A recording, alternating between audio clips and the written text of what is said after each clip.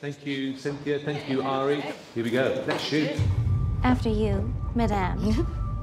Let's see. Pink goes good with green. Goes well with green. It so does. Wicked to me, at its very core, is about friendship. What are you staring at? Do I have something in my teeth?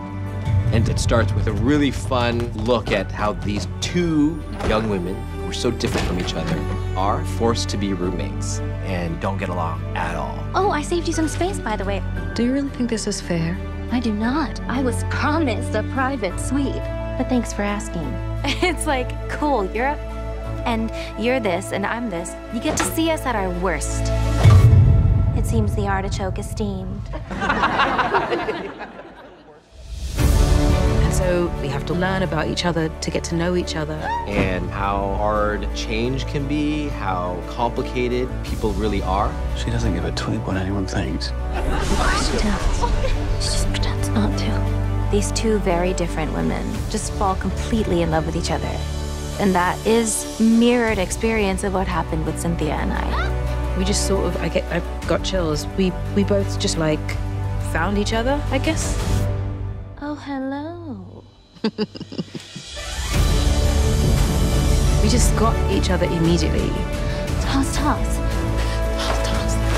There's a wild sort of soul connection between the two of them.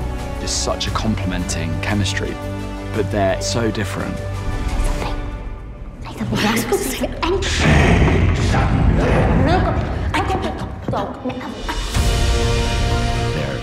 friendship is going to bring a humanity to this film that they both deeply personally understand. It's understanding that those who are different are just different, and that is really special. I'm coming. My favorite thing about Wicked is that we can all identify pieces of ourselves within both Elphaba and Galinda. You can do this. You can